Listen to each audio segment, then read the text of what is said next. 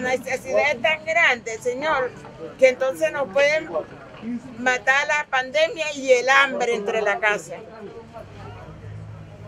La llegada del coronavirus a Venezuela empeoró las condiciones de vida del país.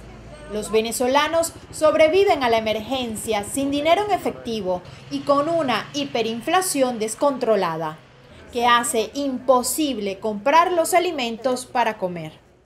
La comida se consigue, pero bastante cara. El sueldo que uno gana no alcanza para, para comprar los alimentos. Está muy buena la situación, la cosa está difícil. Está difícil la cosa. No hay casi efectivo, no, hay casi, no se vende mucho.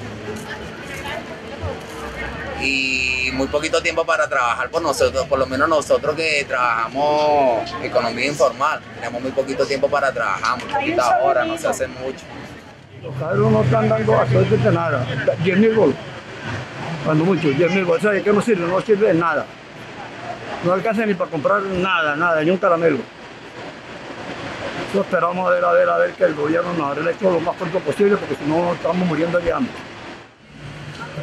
La, la, la pensión que da el señor Maduro, eso no alcanza.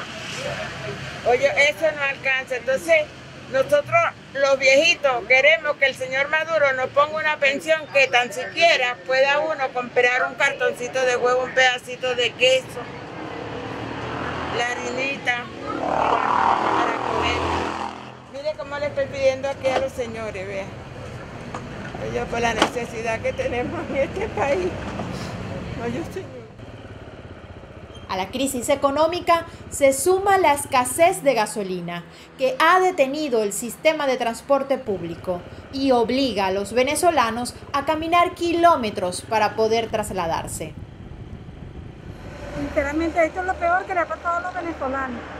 Porte por ningún lado, uno tiene que pensar cómo irse para su casa, en fin, estamos de mal en peor. Y todo lo venden en dólares y uno no gana en dólares. No hay autobús, no hay nada. No hay carro de alquiler, no hay nada, viejo. Trabajé en la, alcaldía cuando se ganaba 500 bolívares usted podía comprar un carro, podía comprar una casa. ¿Ah? Hoy en día, coño, ¿ah? a pie. No, yo estoy cansada. Ocho operaciones. ¿Sabe? 80 años voy a cumplir. ¿Ah? Eso que puso Maduro, que cansa. Ni para comprarse una, ni, ni siquiera se, uno se limpia el, el culo, señor, perdóneme, disculpen. Uno se lava el culo con trapito. Ajá, me disculpa. Reportó para Cubanet Marinelli Stremamuno.